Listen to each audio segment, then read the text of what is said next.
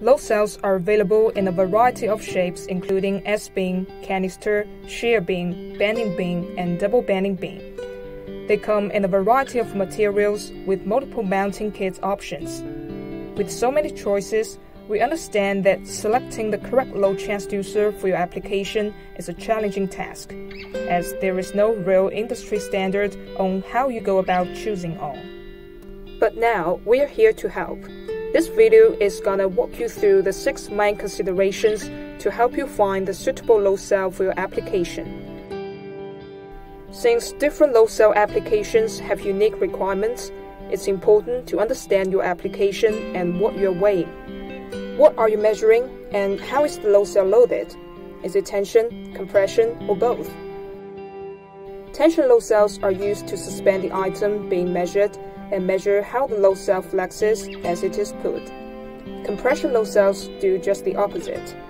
Force is applied directly to them and the force is measured based on the way the load cell flexes when weight is applied.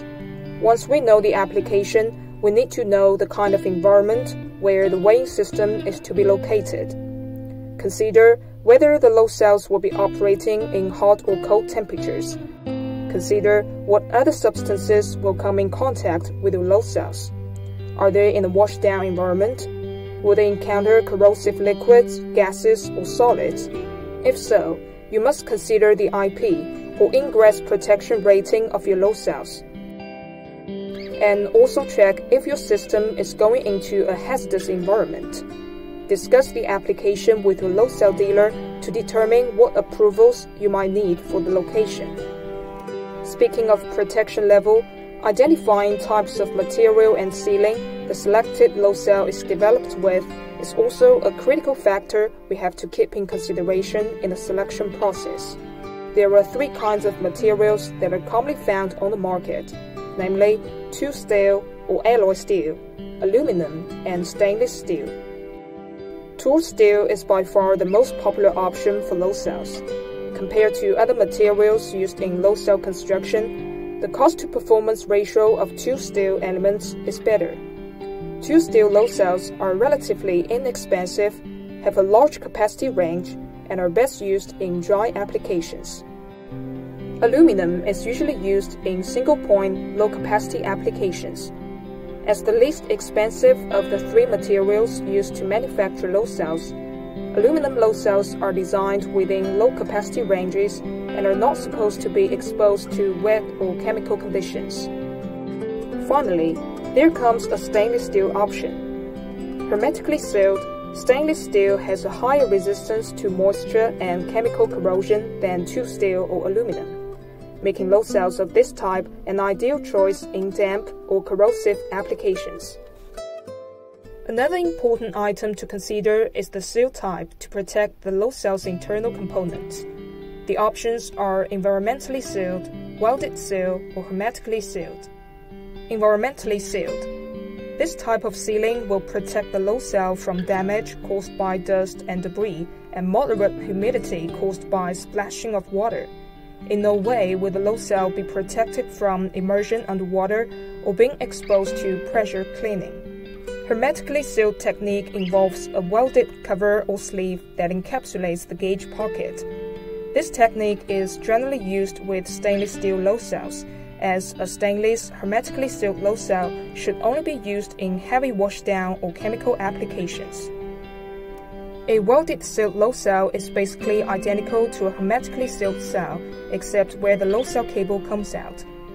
Welded sealed load cells are for use where the cell may get wet on occasion but are not intended for heavy washdown applications.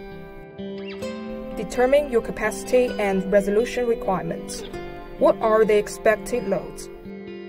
What is the minimum resolution and maximum capacity you need? Be sure to select the capacity over the maximum operating load so that the load cell does not risk being overloaded and that it is not weighing at so close to full capacity that repeatability and accuracy suffer, and as well determine all extraneous loads and moments prior to selecting the capacity.